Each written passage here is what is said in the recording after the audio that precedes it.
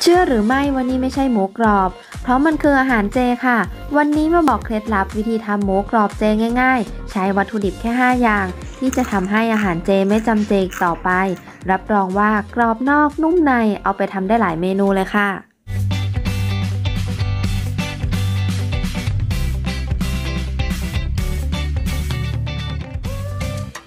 วัสดีค่ะทุกคน คุณอยู่กับกลุ่ม i n e a t Happy แม่บ้านยุคใหม่นะคะ วันนี้พาทำเมนูสุดว้าวค่ะ ผัดกระเพราหมูกรอบนะคะ แต่ว่าเป็นหมูกรอบเจนะ หมูกรอบอันนี้อิ่มทำเองด้วยวัตถุดิบไม่เยอะเลย แล้วก็ทำไม่กี่ขั้นตอนด้วยนะคะ จะทอดด้วยน้ำมันหรือว่าหม้อทอดไร้น้ำมันก็ได้นะคะ วิธีทำเป็นยังไงไปดูกันเลยค่ะมาเริ่มขั้นตอนแรกของการทำหมูกรอบเจกันค่ะ อิมใช้แผ่นโปรตีนเกษตรแบบสี่เหลี่ยมเอามาแช่น้ำให้นิ่มก่อนนะคะ ใช้เวลาประมาณ 15-20 นาทีค่ะ พอแผ่นโปรตีนเกษตรนิ่มดีแล้วนะคะ จากนั้นเพื่อนๆก็บีบน้ำออกให้หมดเลยค่ะ พอบีบจนครบเสร็จแล้วเพื่อนๆก็วางพักส่วนนี้ไว้ก่อนนะคะ ต่อมาเรามาผสมแป้งกันค่ะ ส่วนนี้จะใช้แทนชั้นไขมันสีขาวของเนื้อหมู 3 ชั้นนะคะ ผสมแป้งมีกึ่งสำหรับทำอาหารเจ แล้วก็ใส่แป้งอเนกประสงค์ค่ะ เพื่อนๆจะร่อนแป้งหรือไม่ร่อนก็ได้นะคะ แล้วก็ใส่แป้งข้าวเจ้าลงไปค่ะ ต่อมาผสมน้ำเปล่าลงไปค่ะ และอิ่มจะปรุงรสเพิ่มด้วยซอสถั่วเหลืองค่ะ แล้วเพื่อนๆก็ใช้ไม้พายหรือว่าใช้มือนวดคนผสมทุกอย่างให้เข้ากันนะคะ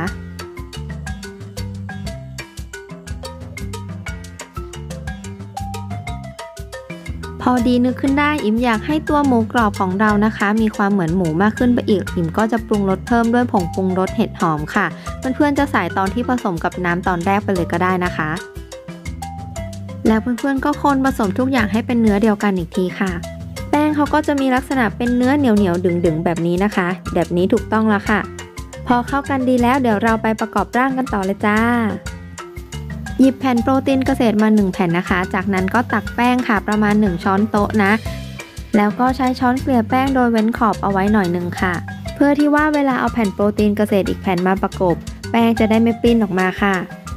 เวลาเอาอีกแผ่นมาประกบ เพื่อนๆดูลายของแผ่นเส้นโปรตีนเกษตรด้วยนะคะ เราจะไม่วางเป็นเส้นแนวเดียวกันนะคะ แบบนี้ถือว่าไม่ใช่ค่ะ ให้เพื่อนๆกลับอีกด้านวางเส้นที่ตัดกันเป็นแบบนี้นะคะ เพื่อที่ว่าจะได้ให้แป้งกับแผ่นโปรตีนเกษตรเขาเกาะติดกันดีค่ะ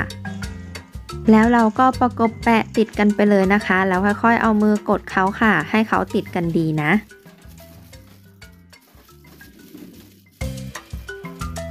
ต่อมาเราก็มาทำอีกชั้นหนึ่งค่ะ ตักแป้งออกมา 1 ช้อนนะคะ จากนั้นก็เกลี่ยลงบนแผ่นโปรตีนเกษตรเหมือนเดิม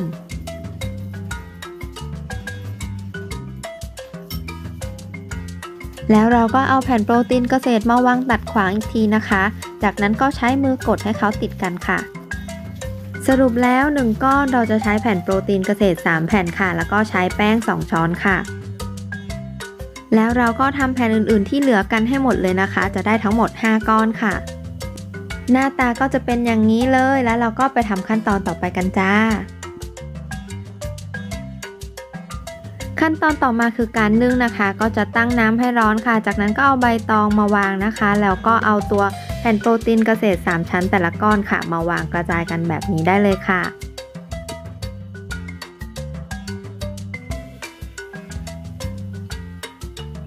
แล้วก็ปิดฝาไว้ได้เลย เราจะใช้เวลานึ่งทั้งหมดประมาณ 20 นาทีนะคะเพื่อนๆเดี๋ยวเรามาดูกันอีกทีค่ะ ระหว่างนึ่งเขาก็จะพองขึ้นมาใหญ่กว่าเดิมแบบนี้นะคะ พอนึ่งจนสุกดีแล้วจากนั้นเพื่อนๆ ก็เปิดฝาแล้วก็ยกออกมาเพื่อให้คลายความร้อนนะคะ พอ 3 ชั้นเจของเราเย็นตัวลงแล้วเขาก็จะมีขนาดเล็กลงนะคะ เริ่มมีความเหมือนหมู 3 ชั้นแล้วใช่ไหมคะ จากนั้นเราก็เอาไปแช่แข็งเพื่อให้เขาเซ็ตตัวดีขึ้นค่ะ อิ่มก็จะเก็บเขาไว้ในกล่องแบบนี้นะคะ แล้วก็ใช้ถุงพลาสติกค่ะมาวางแปะไว้ด้านบนนะคะ เพื่อไม่ให้เขาติดกันระหว่างก้อนค่ะ หรือเพื่อนๆจะเอาใส่ถุงพลาสติกไปเลยก็ได้นะคะ อิ่มก็จะเอาไปแช่ในช่องฟรีซนะคะ อย่างน้อย 3 ชั่วโมงค่ะ หรือว่าจะแช่ข้ามคืนไปเลยก็ได้ค่ะหมูสามชั้นที่ได้ลักษณะเขาก็จะเป็นแบบนี้นะคะซอแช่มาแล้วเนาะชิ้นอย่างนี้แล้วก็เห็นเป็นชั้นนะคะสวยงาม เดี๋ยวเรามาหั่นกันค่ะ อิ่มก็จะหั่นแบ่งเขานะคะ มันก็จะเป็นชั้นเป็นเลเยอร์สวยงามอย่างนี้เลยนะ ตรงสีน้ำตาลอันนี้ก็จะเป็นเนื้อนะคะ ส่วนตรงนี้ก็จะเป็นตัวไขมันนะ เหมือนตัวไขมันแทรกอยู่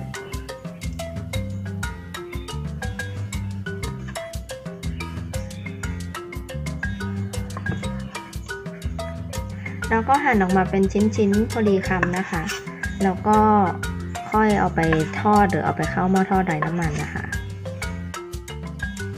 อิ่มก็เอาหมู 3 ชั้นเจที่หั่นเรียบร้อยแล้วนะคะ มาวางไว้ในถาดอบนะ แล้วก็ทาน้ำมันบางๆให้ทั่วอีกครั้งหนึ่งค่ะ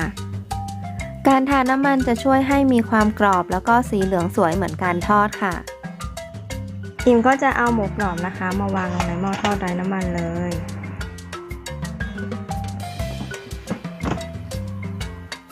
รอบแรกจะใช้ไฟอยู่ที่ 180 องศานะคะ เวลา 10 นาทีค่ะ ครบเวลารอบแรกแล้วนะคะ มาดูกัน ว้าว เหลืองใช้ได้นะ เดี๋ยวเรากลับด้านอีกด้านหนึ่งค่ะ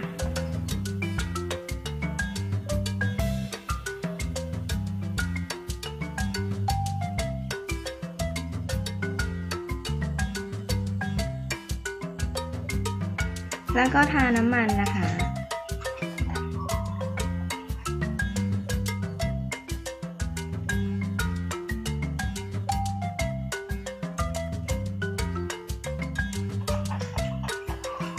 จริงๆ อาจจะไม่ทาก็ได้นะ แต่ว่ามันก็อาจจะแห้งอะค่ะ ถ้าเพื่อนๆ อยากคลีนกว่านี้ก็ไม่ทาก็ได้ค่ะ แล้วเดี๋ยวเราเอาเข้าหม้อทอดไร้น้ำมันรอบที่ 2 กันจ้า อบรอบ 2 อิ่มใช้ไฟเท่าเดิมนะคะ 180 องศาใช้เวลา 5 นาทีค่ะ ครบเวลาแล้วมาดูกันค่ะเพื่อนๆ ว้าวเหลืองทองมาก น่ากินมากจ้า เดี๋ยวอิ่มชิมให้ดูนะว่ากรอบแค่ไหน ดูเสียงกรอบสิ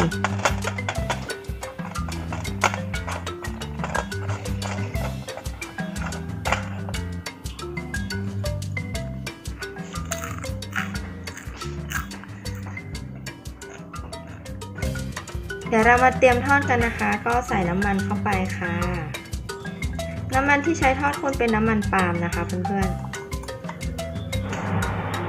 พอน้ำมันร้อนแล้วเพื่อนๆก็ใส่หมูสามชั้นเจลงไปเลยนะคะ เอาลงไปทอดเลย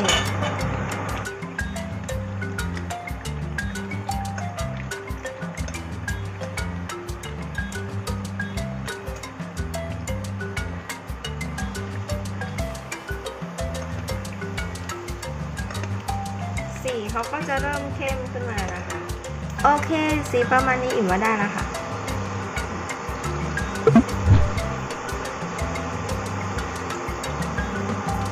ตักขึ้นมาเลย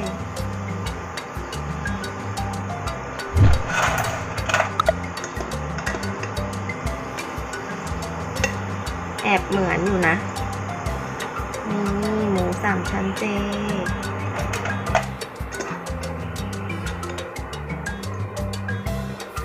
ร็จแล้วค่ะหมูกรอบเจหน้าตาเขาก็จะคล้ายหมูกรอบจริงนะคะ ข้างนอกจะมีความกรอบของโปรตีนเกษตรคล้ายกับฟองเต้าหู้ทอด พอเคี้ยวเข้าไปจะเจอความนุ่มของแป้งที่เป็นชั้นสีขาวค่ะ รสชาติอาจจะไม่เหมือนหมูกรอบจริง ๆ เท่าไหร่นะ แต่ว่า t e x t อร์ความกรอบนอกนุ่มในอิ่มว่าโอเคเลยทอดด้วยหม้อทอดไร้น้ำมันจะมีความแห้งกว่านิดนึงนะคะ แต่ว่าก็อร่อยทั้งคู่ค่ะ เราเอาไปทำเมนูอื่นต่อได้หลายเมนูเลย ไปทำผัดกะเพรากันค่ะ มาปั่นพริกกันนะคะเพื่อนๆ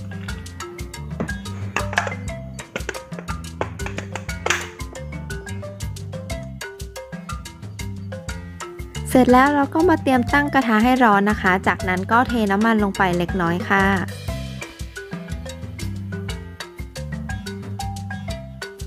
ทานเจจะไม่ได้ใส่กระเทียมนะคะ อิ่มก็จะเอาพริกที่ปั่นไว้แล้วเรียบร้อยไปผัดในน้ำมันให้หอมค่ะ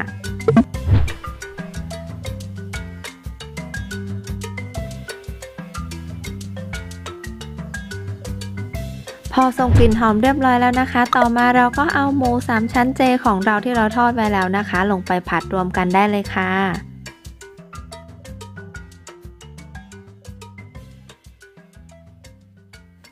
แล้วอิ่มจะปรุงรสเพิ่มนะคะด้วยซีอิ๊วขาวค่ะ 1 ช้อน แล้วก็ซอสถั่วเหลืองอีก 1 ช้อนค่ะ จากนั้นก็ใส่น้ำตาลทรายอีกนิดหน่อยนะคะ ถ้าเพื่อนๆมีซอสเห็ดหอมเจจะใส่เพิ่มก็ยิ่งเข้มข้นอร่อยมากขึ้นค่ะ จากนั้นก็ผัดทุกอย่างให้เข้ากันเลย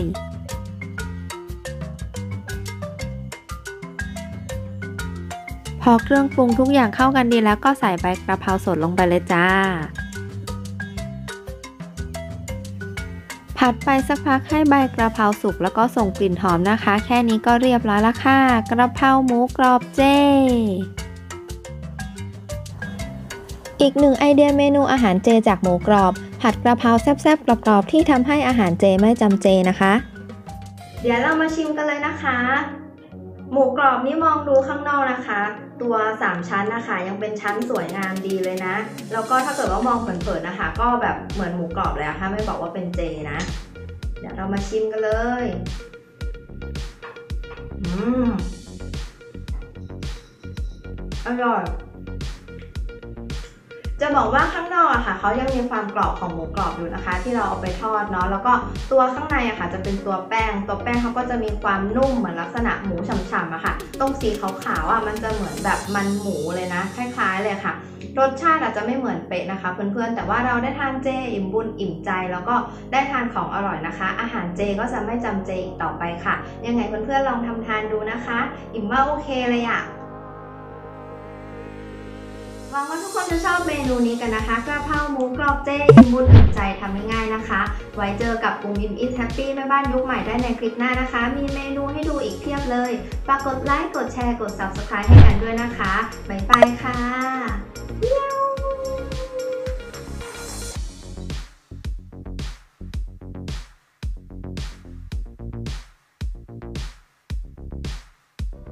ขอบคุณที่รับชมจนจบคลิปค่ะ ถ้าชอบฝากกดติดตามอุ่มอิ่ม is happy ด้วยนะคะ มีเมนูอาหารเรื่องราวดีๆ ให้ชมกันอีกในคลิปถัดไป และกดกระดิ่งแจ้งเตือนจะได้ดูคลิปใหม่ก่อนใครด้วยนะ แล้วเจอกันใหม่คลิปหน้าค่ะ บ๊ายบา